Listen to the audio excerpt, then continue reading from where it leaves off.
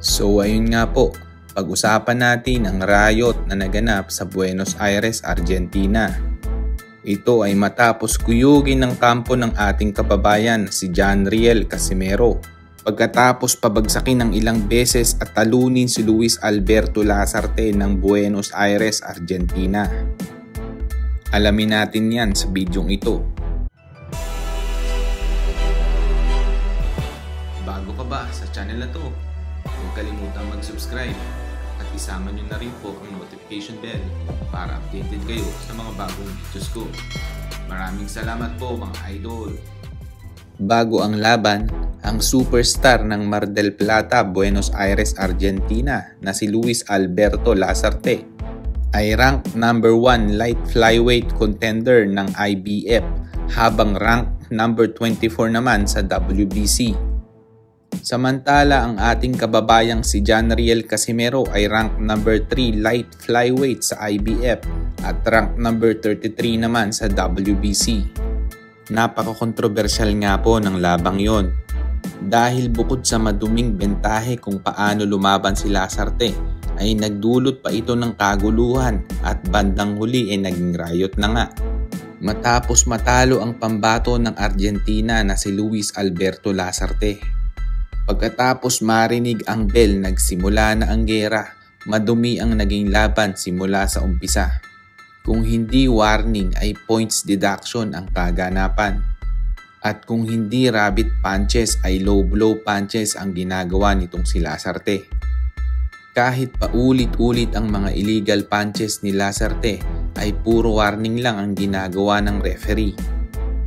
Ang nakakadismaya pa nga sa labang ito ay sa pang-apat na round si Casimero pa ang binawasan ng puntos. Dahil ayon sa referee ay nasipa daw umano ni Casimero si Lazarte habang nakabagsak sa lona. Palibhasa ay teritoryo ng kalaban kaya tila ba may daya ang nangyayari. Samantala, kilala si Luis Alberto Lazarte sa maduming bentahe nito sa boxing. Ilang beses na ring na-disqualified si Lazarte sa mga maduduming galawan nito sa loob ng boxing ring. Disqualified si Lazarte laban sa kababayang sina Marcelo Antonio Davila, Horacio Fabian Chicagual, at si Omar Andres Narvaez. Para bang nakasanayan na nga nitong si Luis Alberto Lazarte ang pagbato ng mga rabbit punches at low blow punches. At pati nga ang Mexican boxer na si Edgar Sosa ay hindi rin nakalagpas sa pandurugas ni Lazarte.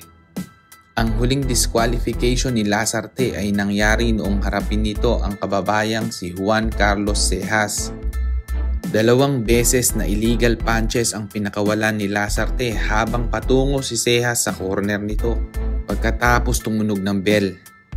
Nagawa daw umano ito ni Lazarte dahil sa paulit-ulit na pag-insulto sa kanya ni Cejas.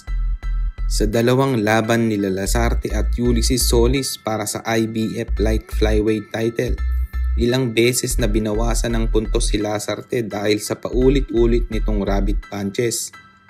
Subalit magbalik na po tayo sa main topic na labang Lazarte at Casimero. So ayun nga po, may nakakadismaya pang pangyayari dahil nabilangan pa si Casimero sa round 5. Knockdown ng hatol ng referee pero malinaw na parang nawalan lang ng balanse si Casimero at lubid ang sumalo ng suntok ni Lazarte at hindi ang muka ni Casimero. Samantala, hindi tumigil ng panggugulang ang Argentinian at patuloy pa rin ang pagbato ng mga rabbit punches at low blow punches. Parang natawa na nga lang si Casimero, kita nyo? Dahil parang naging wrestling ang laban at hindi boxing. At sa wakas sa pang-anim na rounds ay binawasan din ng punto si Lazarte dahil sa walang sawang pagpunterya nito sa batok ni Casimero. Subalit sa pangwalong rounds naman ay binawasan muli si Casimero ng isang puntos sa pangalawang pagkakataon dahil halatang mukhang napikon na si Casimero sa panggugulang ng Argentinian.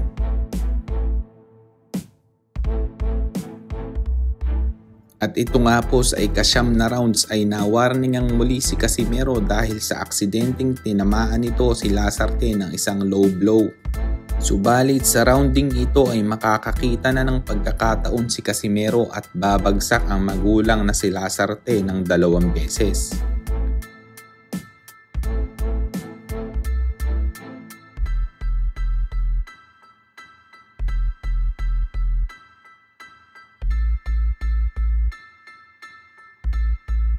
Halos umikot ang paningin ni Lazarte pagkatapos bumagsak. Subalit sinuwerte pa ng bahagya dahil nasave by the bell.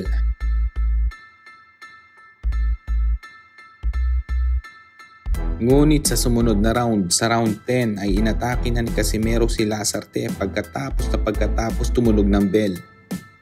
Hindi na nga nilubayan ni Casimero ang pagbayo sa madugas na Argentinian hanggang sa itigil na ng referee ang laban.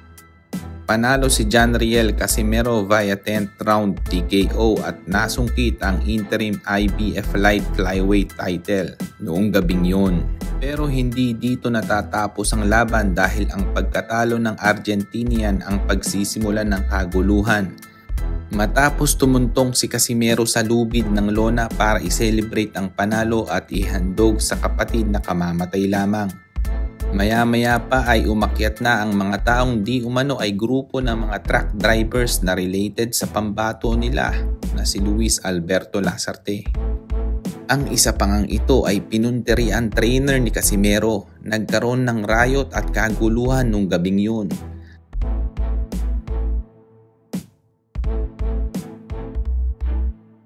At ang isa pang ito ay makikitang pilit na bumabato ng suntok mula sa labas ng lona habang nakakapit sa lubid. Parang tila bagalit na galit at natalo ang kanilang pambato.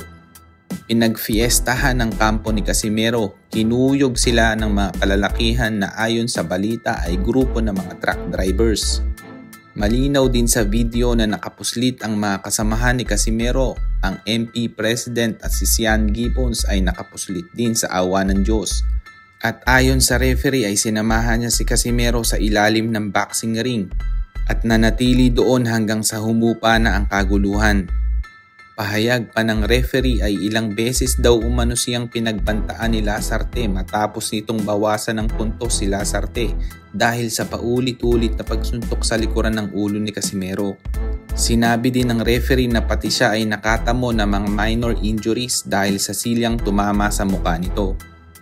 Dahil sa nangyaring iskandalo ay nag-utos ang presidente ng IBF International Organization sa Amerika na bigyan ng sanctions ang Argentinian boxer dahil sa pagdungis nito sa imahe ng nasabing palakasan.